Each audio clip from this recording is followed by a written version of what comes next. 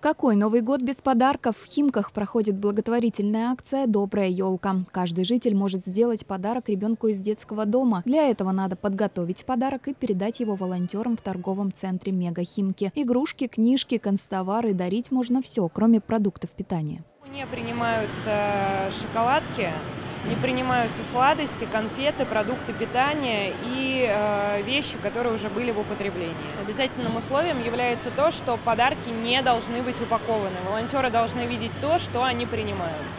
Вот это очень важно, потому что иначе они попросят участников акции распаковать свой подарок. Организатор акции – благотворительный фонд «Исток». Последний день доброй елки 25 декабря. После подарки упакуют и отправят в социальные учреждения Подмосковья.